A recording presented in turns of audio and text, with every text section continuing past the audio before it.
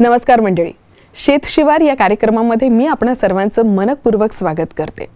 मंडळी आज आम्ही विषय घेऊन आलेलो आहोत अंजीर या फळाचा. अंजीर या फळाला इतर फळांपेक्षा अधिक मूल्यवान समजलं जातं.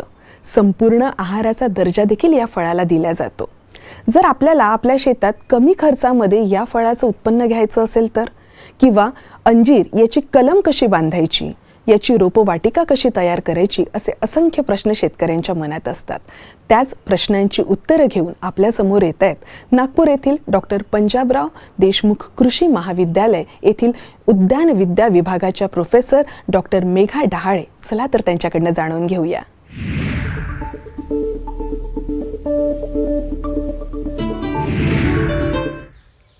नमस्कार. मी डॉक्टर मेघा हरिहरराव डहाळे सहयोगी प्राध्यापक उद्यान विद्या विभाग कृषी महाविद्यालय नागपूर. येथे कार्यरत असून आपण आज अंजिराचे रोप वाटिका कशी तयार करायची किंवा त्याचे कलमे कशी तयार करायची या संदर्भात आपण जाणून घेऊया. तर अंजिराच्या संदर्भात आपण थोडं बहुत आपण इतिहास बघूया त्याचा की अंजीर हे कुठून आलेलं फळ आहे?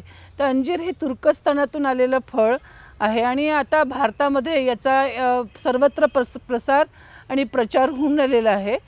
प पुरातन काळापासूनच अंजिराला आयुर्वेदशास्त्रामध्ये भरपूर मागणी आणि त्याची आयुर्वेदशास्त्रामध्ये त्याचा उपयोग किंवा त्याची औषधी गुणधर्म हे अत्यंत गुणकारी असल्यामुळे सांगितलेले आहे. आता अंजीर हे अत्यंत स्वादिष्ट पौष्टिक आणि आरोग्यवर्धक लोकप्रिय फळ आहे. जर आपण खायला लागलो तर याच्यामध्ये बिया या अगदी सॉफ्ट असतात. आणि फळसुद्धा हे सॉफ्ट असतं.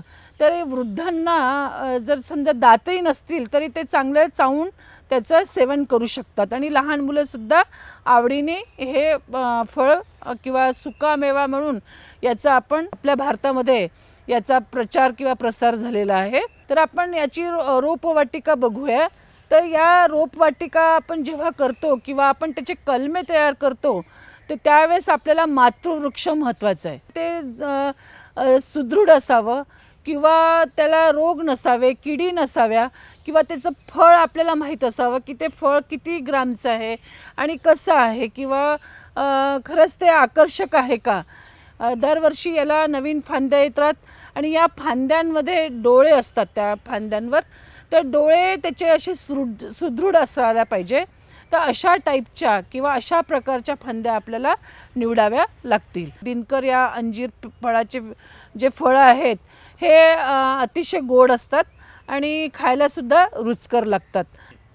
चला तर आपण बघूया की कलमा कशा तयार करायच्या गादी वाफा कसा तयार करायचा तर चला जाणून घेऊया आपण या संदर्भात.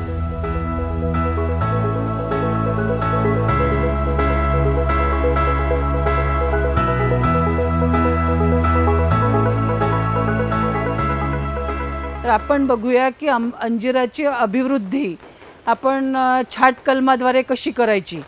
तर अभिवृद्धीतही छाट कलम आहे किंवा फाटे कलम आहे किंवा टिश्यू कल्चर आहे किंवा गुट्या बांधून आहे अशा प्रकारे सुद्धा याची अभिवृद्धी होऊ शकते.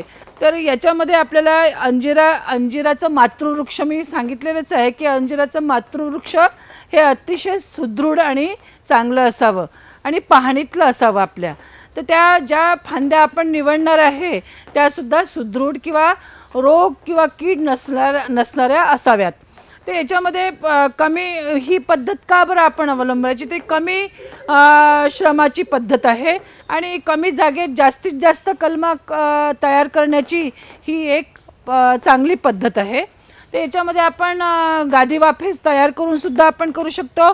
किंवा नऊ बाय सहाची ही जी आहे पॉलिथिन बॅग याच्यामध्ये सुद्धा आपण two is to two two is to one is to one असं प्रपोशन घेऊन आपण माती मातीचं प्रपोशन घेऊन वीस ते चाळीस सेंटीमीटरची ही जी कलम आहे ही आपण निवडायची.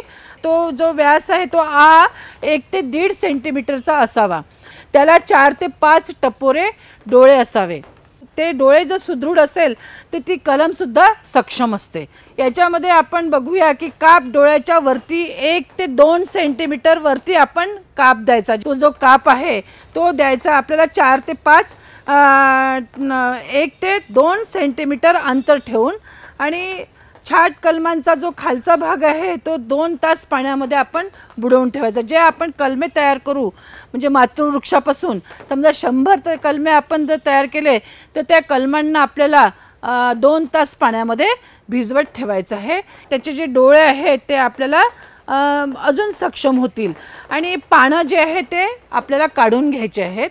आणि जो फांदीतील जो पांढरा चीक आहे तो आपल्याला निघून जाईल. जर दोन तास पाण्यामध्ये बुडवून ठेवण्याचा उद्देशच हा आहे की त्या पाण्या ज्या ती जी फांदी आपण निवडतो त्याच्यामध्ये चीक असतो पांढरा. आणि तो पांढरा चीक हा दोन तास पाण्यामध्ये भिजवल्यानंतरच जातो. गादी वाफेमध्ये लावल्यानंतर किंवा या पॉलिथिन बॅगमध्ये आपण जर एक एक जर लावली ती कलम आणि त्याला आपण नियमित पाणी द्यायचं थोडं बहुत आपण वर्मी कंपोस्ट किंवा आपल्याला जे म्हणतो आपण शेणखत ते सुद्धा आपण टाकू शकतो.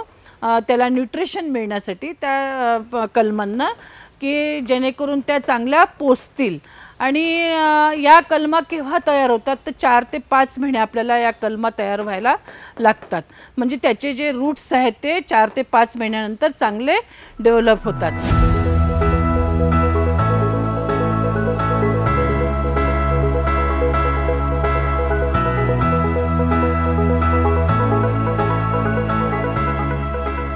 चला तर शेतकरी बंधूंनो आपले पारंपरिक पिकांसोबतच आपण अंजिराची सुद्धा लागवड करूया आणि आपली आर्थिक बळकटीकरण करूया.